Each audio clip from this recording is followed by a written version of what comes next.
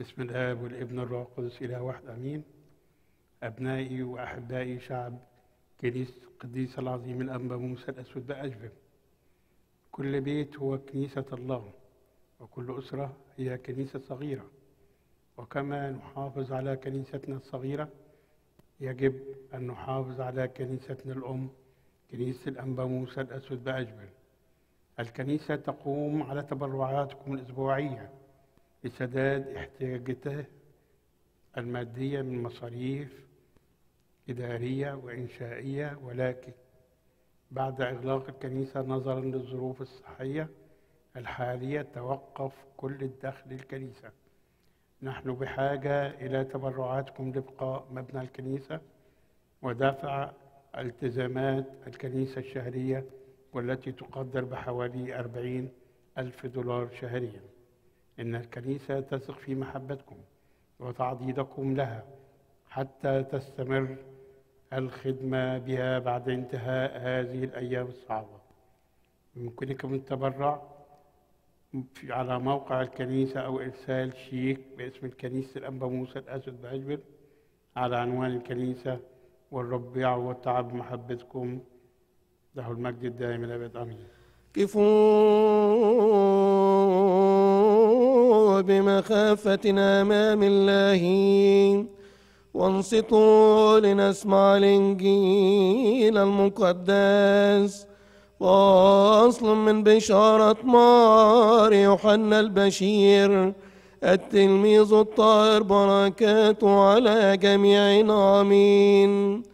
من مزامير أبينا داود النبي بركاته على جميعنا آمين وتغسلني كثيرا من اسمي ومن خطيئتي تطهرني لأني أنا عارف باسمي وخطيئتي أمامي في كل حين الليلويا مبارك هو الآتي باسم رب القوات ربنا وإلهنا ومخلصنا كلنا. ربنا يسوع المسيح ابن الله الحي الذي له المجد الدائم إلى الأبد. آمين. فقال لهم يسوع أنا هو خبز الحياة. من يقبل إلي فلن يجوع ومن يؤمن بي فلن يعطش أبدا.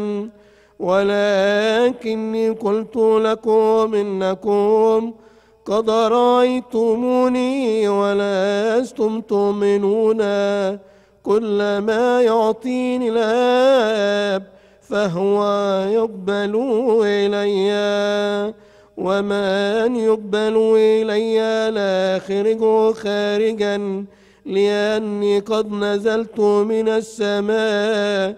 ليس لأعمل مشيئتي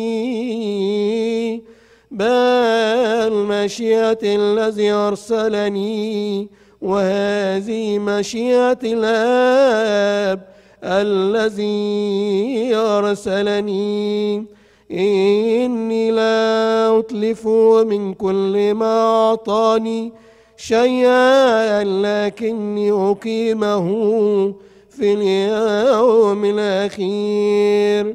وهذه هي مشيئة أبي الذي أرسلني. إن كل من يرى الابن ويؤمن به تكون له الحياة الأبدية وأنا أقيمه في اليوم الأخير.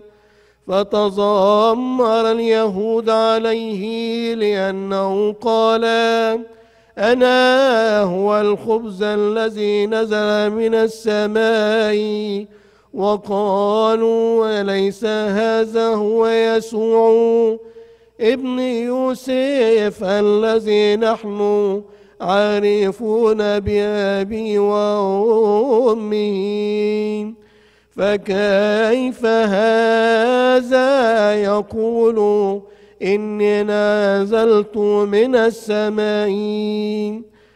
فجاب يسوع وقال لهم لا تتذمروا فيما بينكم ما من أحد يقدر أن يقبل إلي ما لم يكتذبه الآب الذي أرسلني وأنا أقيمه في اليوم الأخير.